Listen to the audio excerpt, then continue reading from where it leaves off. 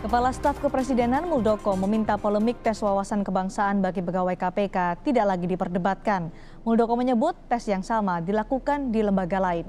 Terkait polemik tes wawasan kebangsaan bagi pegawai KPK dalam alih status menjadi ASN, Kepala Staf Kepresidenan Muldoko menyebut tes yang sama juga dilakukan di lembaga lain. Karena itu Muldoko meminta agar perdebatan soal tes wawasan kebangsaan di KPK diakhiri.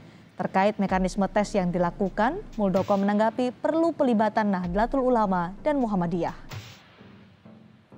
Ini sebenarnya sudah berlaku di semua lembaga dan termasuk juga di kalangan BUMN.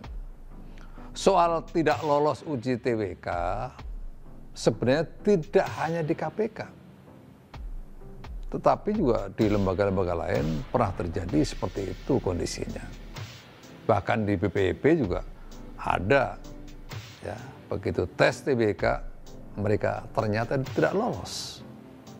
Kenapa itu tidak ribut? Kenapa yang di KPK begitu ributkan? Gitu.